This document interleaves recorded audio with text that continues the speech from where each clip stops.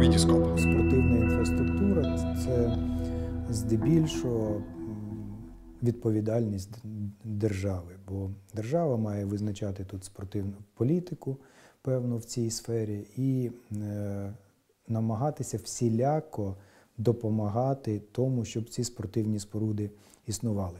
Зазвичай вони є там, муніципальною власністю.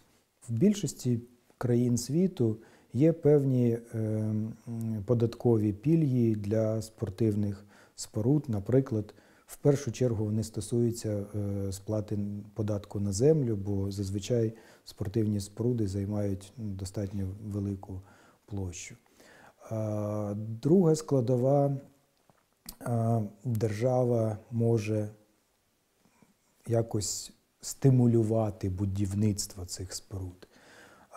Наприклад, є досвід Чехії, яка робила наступним чином. Вона виділяла певні гранти на види спорту, в розвитку яких вона була в першу чергу зацікавлена, і- відповідно зацікавлена була, щоб в тому з'явилися спортивні споруди від належного рівня.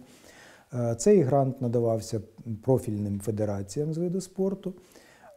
І умови були наступні: Е, місцева громада своїм коштом, місцевим бюджетом будує там певну спортивну споруду, а держава на е, кінцевому етапку, етапу будівництва додає від себе, скажімо, там 25-30% е, кошторисної вартості е, цього будівництва.